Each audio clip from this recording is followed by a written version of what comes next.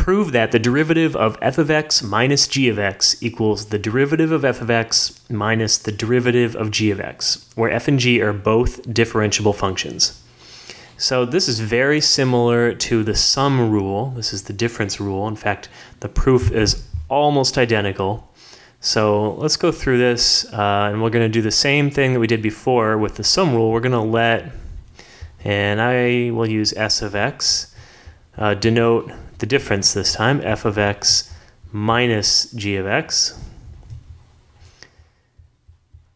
And now I'm going to go ahead and calculate using the limit definition of the derivative what uh, the derivative of s would be. So I guess uh, this would be s prime of x. Okay, and that's going to be the limit as h approaches 0 of s of x plus h minus s of x all over h. Now let's go ahead and plug in for s of x in terms of f and g. So s of x plus h, that's going to be f of x plus h minus g of x plus h. And then this whole thing is going to be minus f of x minus g of x. Okay, so this first thing, that's s of x plus h. The second thing, that's s of x. And all this is over h. Okay, so that's going to equal the limit as h approaches 0 of.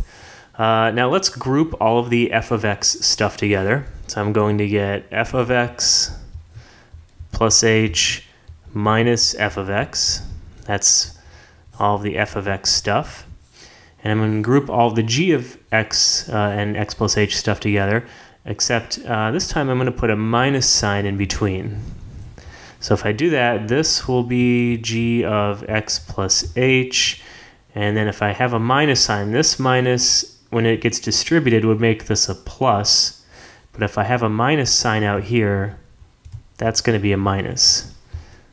Uh, if you need to, go through and distribute this and rearrange it, it should be the same thing as what we have here.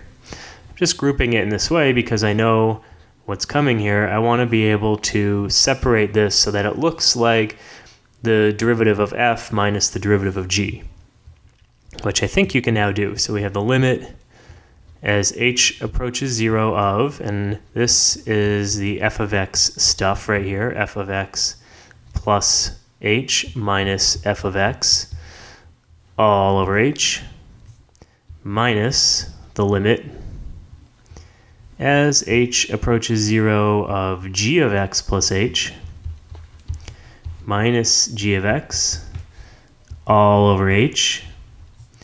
And this is, the first term is the derivative of f of x minus, second term is the derivative of g of x and that's what we were trying to prove.